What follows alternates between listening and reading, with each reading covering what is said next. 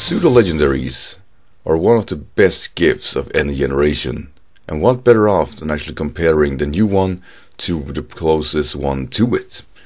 Dragapult versus Hydreigon, two really really strong staples of OU, but also in the ranked meta and more so even leagues. This is where we're gonna of course see which one of these are actually better as we're gonna compare Dragapult and Hydreigon's move pool, stat distribution, and just overall theme in every meta they fend off against and see how they hold out. Hydreigon, which has been around since Generation 5, made a big mark on that tier, did fall behind Generation 6, and actually kept being a part of, you know, not really holding its candle in OU in Generation 7 either, but got new tools in Generation 8, which have made it one of the better wall breakers in the game and uh, will absolutely remain so for sure in this generation. However, it has a steep competition. Dragapult, which fill somewhat of a similar niche, is really, really, really strong and a very worthy opponent of being who is the best dragon of the game right now. So without further ado, we're going to of course cover, like I said, their theme and find out which one of these two that really are better. And we're going to start off with the Pokemon introduced first, being Hydreigon.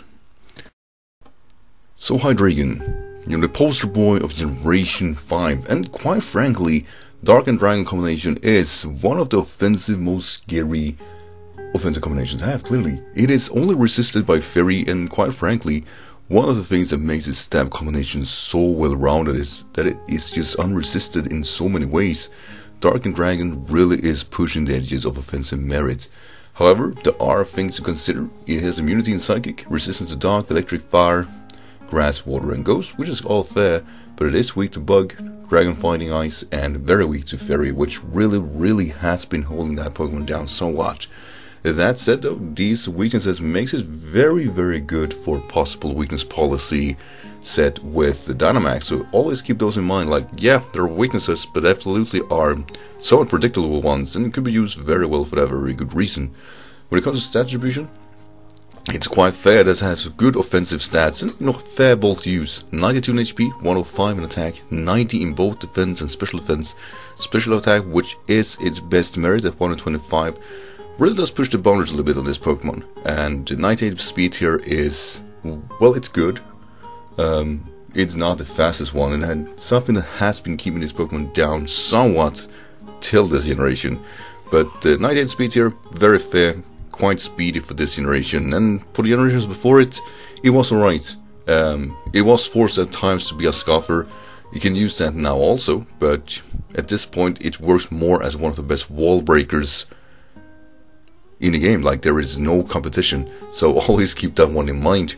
In its abilities, Levitate. Levitate has good things going for it. While it's only one like one good ability for it, it doesn't have a variety.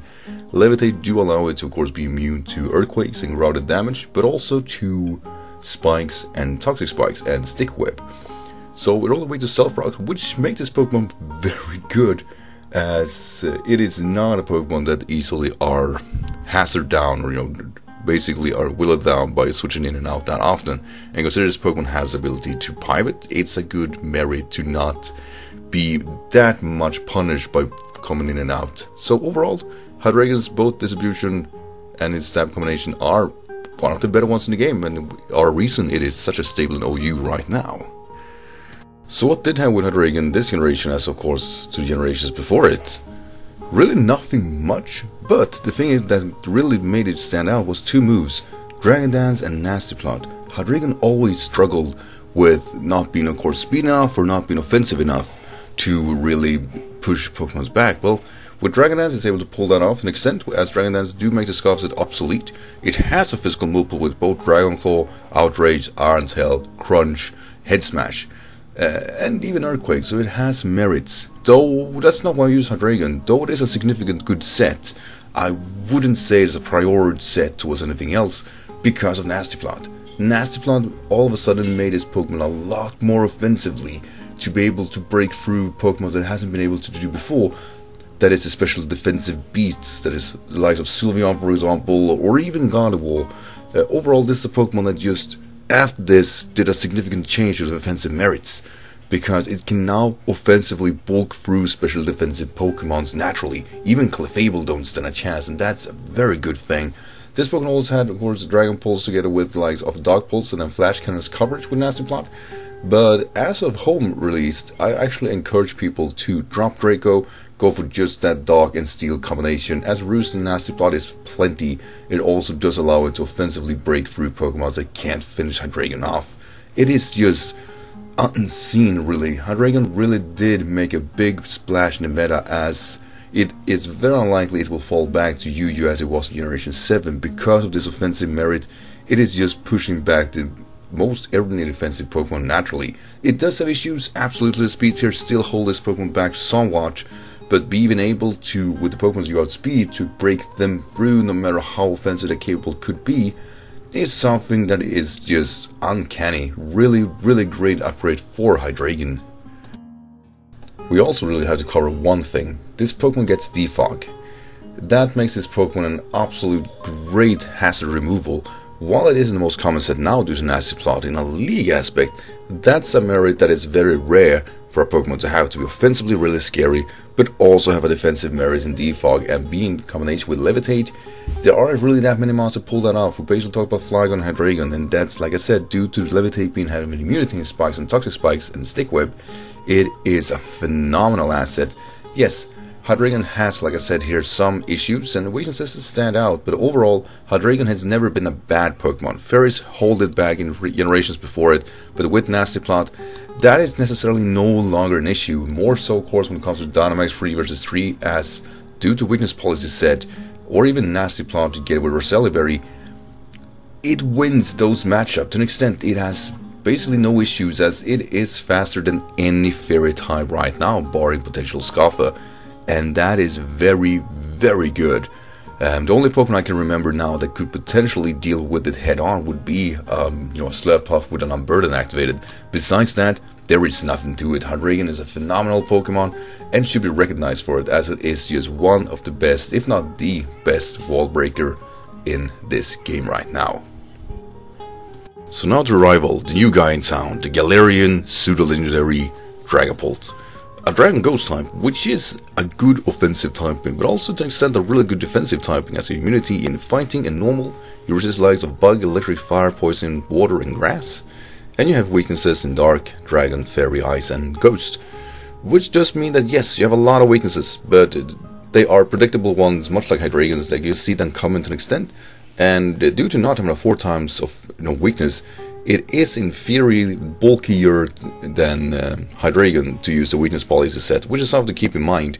Uh, when it comes to its stat distribution, it is not as bulky as a dragon with 88 in its HP and 75 split on its defenses. So yeah, while flare or frailer, it is still it's still rather bulky for being what it is. And uh, then we have its uh, stat distribution, its offensive stat, which is 120 in attack and 100 in special attack which is alright. Um, definitely like um, pretty much like Hydreigon's just flipped when it comes to its offensive merits. But what makes this Pokemon stand out is that 142 speed. There is really nothing like it, as it is just one of the speediest, if not the speediest Pokemon right now in Smogon OU, and will probably remain that as for the unforeseen future, as it just has that going for it. And when it comes to its abilities, a Clear Body, Curse Body, Infiltrator, all of them being rather viable for different reasons. Curse Body for me is really great as um, for the Willow set with Disable and sub Substitute. That set is phenomenal as it does disrupt Pokemons naturally. Then we have Clear Body, which makes you immune to um, um, Stick Web, you know, Intimidate and whatnot. So that's really nice. And then you have Infiltrator, which breaks through subs and you know Disable through subs and Willow is through subs. It just is one of those things that stands out. Um, Dragapult is probably the only Pokemon I know about that has higher uses than Landorus, and this because of its main sets are so easy to copy paste a team. It is a really good pilot Pokemon, but also is a good offensive blank check for some Pokemons. The combination of its typing is really good and well rounded, and uh, it's easy to see why this is a Pokemon that is as well of a use as this. But as you guys know, a Pokemon is only as good as the move pool allows it to be, so what do Dragapult do to make it so good? Now Dragapult has one weird issue, that, and that is that its offensive move pool is not as key as its special attack is. Um, just a quick mention, yes, we have Outrage and Dragon Claw, that is great. We even have Sucker Punch and a priority, which is incredible to get with Fly and Psychic Fangs, but it doesn't have a proper Ghost Stab. The only Ghost Stab it has on its physical side is Phantom Force, which makes it a sitting duck and very easy to manage and sit or break through or switch into. It is a much different story in the 3 versus 3 meta where it just ravaged team due to that aspect, but for something this speedy to not be able to have Shadow Claw, yeah, it sucks. This Pokemon even get Dragon Dance, which is also one of key setup move. Um, but yeah, that's it. Um, but that's not what makes, of course, Dragapult good, or in this case, kind of kind of shaky viability. Its special pools, together with the likes of actually Substitute and Will-O-Wisp and Disable, are the ones that makes this Pokemon stand out. It is a better Gengar with the sub-disable stats. We're gonna cover that first. While it lacks Pain Split and Roost, right now at least, it is able to do something that Gengar failed to do, and that is snagging more efficiently disables and substitutes naturally. With Will-O-Wisp or Thunder Wave, you can actually make Hex double the power very naturally, and almost going first means that you can disable Pokemon that aren't able to hurt you, as you're a better defensive type than Gengar ever could be. Um, it does allow this Pokemon to bulk through a lot of matchup naturally, and just overall, it makes Dragon Dragapult really, really tough to deal with head on. Um, the special side is also something to keep in mind as um, it has a really good special offensive move pool. Shadow Ball, Draco, Meteor, and Dragon Pulse together with Hydro Pump, Flamethrower, Thunderbolt. Yeah, there's a lot of things this Pokemon does right. You get Solar Beam, that's crazy. But basically, Dragon and Ghost are, as of right now, unresisted if you aren't a Bisharp. That means that your fill move usually only have to be Flamethrower and you are good to go. Um, it's basically the Pokemon that right now uses specs to be able to break through really a special attack at 100 isn't as impressive, but we mentioned the weakness policy in the 3 vs 3, that is also a thing to keep in mind as it does allow it to break through even better. But when it comes to leagues, however, what makes this Pokemon stand out is that that high speeds here are allowing you to go modest versus 125 base speed Pokemons. What that means is that that 100 special attack becomes 115 in, in theory, and that is great. Uh, it is able to pull that set rather nicely, and the same thing will go with Adamant. Dragapult, while not having the diverse move pool as Hydreigon, still has one thing over it, and that is a speed here to disrupt teams naturally and, you know, potentially revenge kill right well. It isn't a wall breaker, it's designed to be a wall breaker, it's designed to be a, uh, well, what is it, a revenge killer and, you know, a disruptor. And those two roles, it does not only naturally, but it does it absolutely the best right now in both OU tier, the free versus free, and League because the speeds here together with a really good offensive typing is just too much for a lot of teams to deal with. So with comparing these two, I gotta say, the best part about this is that we are knowing that these are the expert, the ideal Pokemon at what they do. Dragapult being the best disruptor and revenge killer in the game right now. Hydreigon being absolutely the best wall breaker in the game, and even more so now with Roost, as it's able to, if you can defensively check something, then it can offensively break through it also. It's very uncanny to see a Pokemon just rising as Hydreigon has done, and uh, it should be noted for it. Uh, in a league aspect, I can see Hydreigon being so diverse, it's such a broad move pool, and it does so many things right. It is just one of those really, really great Pokemon that nobody should be sleeping on. That said, yeah, my heart is where it's at. The 40% use of a Dragapult is for a reason. Dragapult's aspect of being one of the best revenge killers in the game and have a um, stab combination that is close to unresisted, um, it is just overall a better glue Pokemon overall. Hydreigon has the wall breaker aspects to it, but Dragapult is just better here. It has all the merits of a good Pokemon with a good speed here, a good move pool, and different viable set, a defensive set that works even though it lacks recovery. That is just it's so weird that it works so well. And just overall, Dragapult for me is absolutely winner here as it does its role just supreme at what it does. It should go without saying though that Hydreigon do feel one really strong niche in the league and something I can see preferred over Dragapult and that is the defog aspect together with Roost as it does pull a defensive role and hazard removal which is something Dragapult as of right now really can't do. And whether it gets it from Mewtwo, really couldn't say. But if Dragapult gets Roost, Pain Split, or Defog, then Hydreigon is outmatched when it comes to even that niche. But right now, the niche that Hydreigon has makes it, in my opinion, more overall more viable than Dragapult in a league aspect. But overall, due to that speed tier and being offensive enough to pull off a lot of different sets very well, Dragapult just does it for me. It is a reason people use it as well as they do and have a 40% usage in Smogon OU. That should be plenty to tell you guys that it just it's something else. Um, it is uncanny right now when it comes to Smogon OU and even League as it does become a kill leader in so many leagues right now. And uh, I couldn't tell you much for VGC, but I've seen it VGC, which should be plenty. But yeah, it just does a lot of things right, and it's reason it is the winner for me.